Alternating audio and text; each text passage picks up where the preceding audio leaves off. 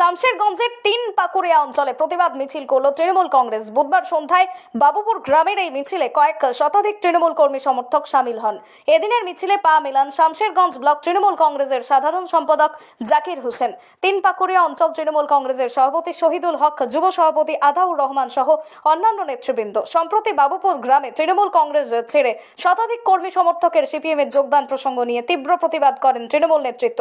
শাসক দল থেকে দূরে থাকা এক ব্যক্তিও তার সাথে আরও কয়েকজন সমর্থক যোগ দিলেও শতাধিক কর্মী সমর্থকের দাবি করায় সিপিএম এর বিরুদ্ধে কার্যত মিছিল বের করেন তিন পাকুড়িয়া অঞ্চল তৃণমূল কংগ্রেস নেতৃত্ব। এদিনের মিছিলে কর্মী সমর্থকদের ব্যাপক উচ্ছ্বাস লক্ষ্য করা যায়। আজকে তিন পাকুড়িয়া অঞ্চলের বাবুপুর গ্রামে সিপিএমের অপপ্রচার সাধারণ মানুষকে বিভ্রান্ত করছে। তার বিরুদ্ধে আমাদের আজকে প্রতিবাদ মিছিল ছিল। আপনারা জানেন, কয়েকদিন আগে সিপিএমের একটা সভা হয়। এই সেই সভায় তৃণমূল কংগ্রেসের থেকে বিচ্ছিন্ন একজন লোক সিপিএমের পতাকা ধরেছে এবং অদ্ভুতভাবে দাবি করেছে যে একশো জন তৃণমূল সমর্থক নিয়ে সিপিএমে যোগদান করল। বাবুপুরের মানুষ এর প্রতিবাদে আজকে রাস্তায় নেমেছিল।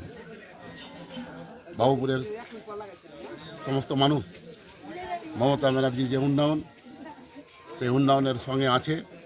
আজকে প্রায় পাঁচশো লোকের মিছিল, দীপ্ত মিছিল প্রমাণ করে দিল আগামী দিনে রাজনৈতিকগতভাবে, রাজনৈতিক নীতিগতভাবে বাবুপুরে তৃণমূল কংগ্রেস শেষ কথা বলবে।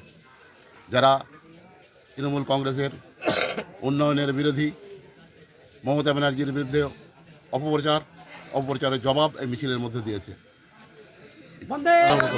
কোথায় কোথায় ঘুরলেন আজকে? আজকে আমরা বাবুপুর গ্রামে ঘুরলাম তিনটা বুথে মিছিলটা করলাম এবং জানান দিলাম যে এখানে অপপ্রচারের কোনো বিরোধী শক্তির যারা অপপ্রচার করছে অপপ্রচারের কোনো ঠাঁই নেই।